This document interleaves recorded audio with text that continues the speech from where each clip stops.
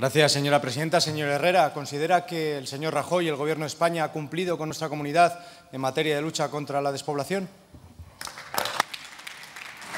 Para contestar, tiene la palabra el presidente de la Junta de Castilla y León. Muchas gracias, señora presidenta. Eh, señor Tudanca, hoy me ha variado usted eh, el tiempo de los verbos. Eh, usted me pregunta eh, oralmente si ha cumplido, pero por escrito me dice si está cumpliendo. Es verdad, y yo lo suscribo, eh, el Gobierno tiene el compromiso de aprobar y de presentar una estrategia nacional eh, frente a los problemas demográficos que viene con retraso. Yo tengo la confianza, en las propias palabras del presidente y la vicepresidenta, en que este próximo mes de mayo será definitivo en que esa estrategia pase a los órganos colegiados del propio Gobierno. Entre tanto, lo que también ha anunciado el Gobierno son algunas medidas, algunas iniciativas que yo eh, valoro eh, de forma muy positiva y que marcan lo que es, por otra parte, una realidad. El primer eh, Gobierno que nosotros conocemos que ha incluido en su agenda el problema, los graves problemas de la despoblación y otros demográficos. Gracias. Para un turno de réplica, el señor Fernández.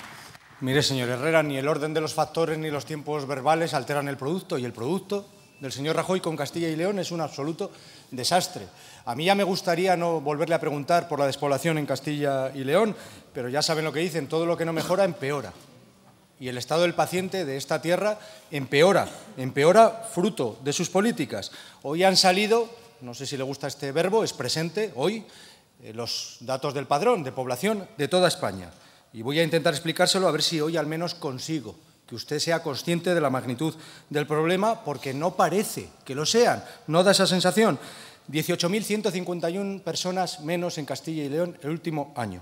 Los primeros, señor Herrera, los primeros, una vez más, en pérdida de población. De las seis provincias que más población pierden de toda España, de las seis primeras, cuatro son de Castilla y León. Esta es su hoja de servicio, señor Herrera, y la del señor Rajoy en Castilla y León. 150.000 personas, más de 150.000 personas hemos perdido desde el año 2011.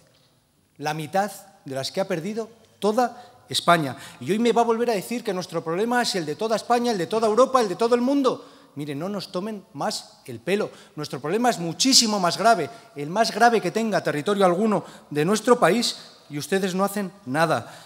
Y como no me entiende nunca, hoy se lo voy a explicar con dibujos, como a los niños, a ver si así lo logro. Mire, esta línea azul es la evolución de la población en Castilla y León. Y esta roja, la de España. Cada vez nos separamos más, cada vez nos hacemos más pequeños porque perdemos mucha más población que la media.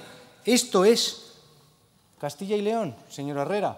Es como una gaviota planeando y hundiéndose en un precipicio. Señor Herrera, ustedes han batido un récord, un absoluto récord.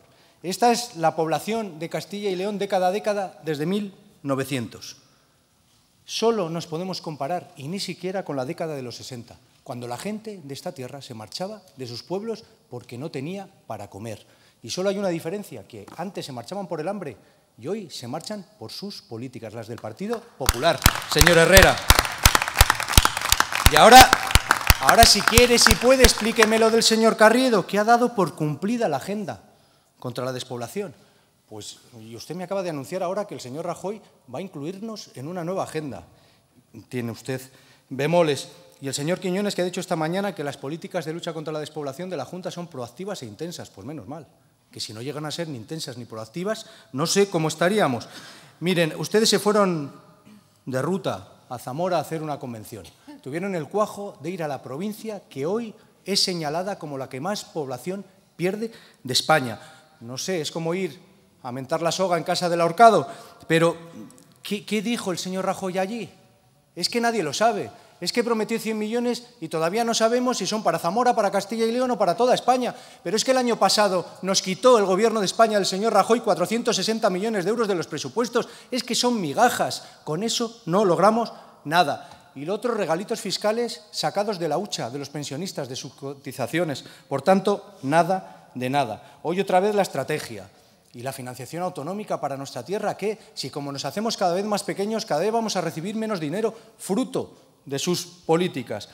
Aunque usted ayer ya casi me contestó Ayer volvió a suplicar al señor Montoro que convocara al Consejo de Política Fiscal y Financiera porque ni en su partido ni en su gobierno le hacen caso.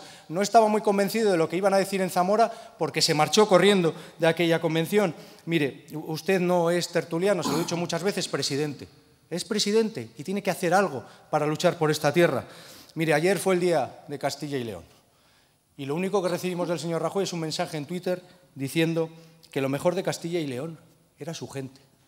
Pero es que en Castilla y León lo mejor que tenemos es cada vez menos por su culpa.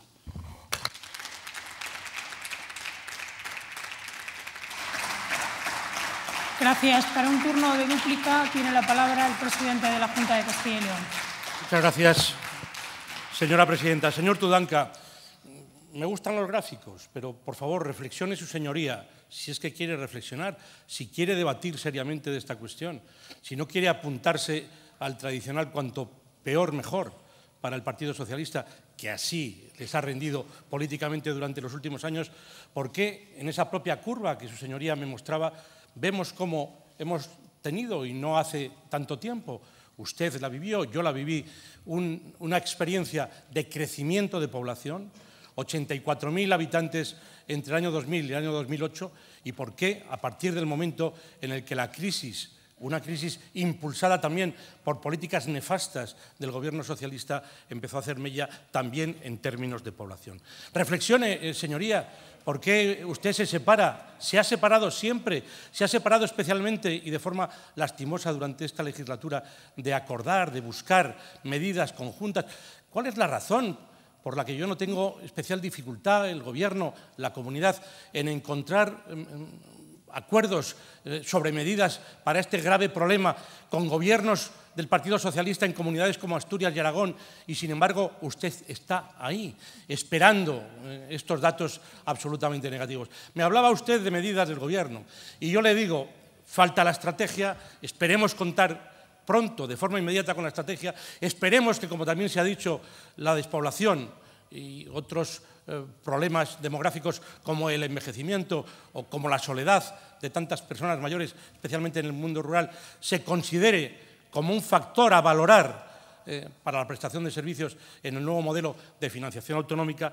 Pero mire, mientras el actual Gobierno de la Nación incluye esta cuestión en la agenda política por primera vez en España, y ahí están esas propuestas del plan 300% para la banda ancha en todo el mundo rural, el plan de apoyo al empleo y el emprendimiento, la duplicación de la tarifa plana para autónomos en municipios de menos de 5.000, el plan estatal de vivienda con medidas para facilitar que los jóvenes las adquieran en municipios de menos de 5.000, o también medidas de conciliación o medidas para jóvenes, para empleados públicos y para pensionistas en el proyecto de presupuestos que en este momento se está debatiendo, ¿qué es lo que encontramos con su señoría?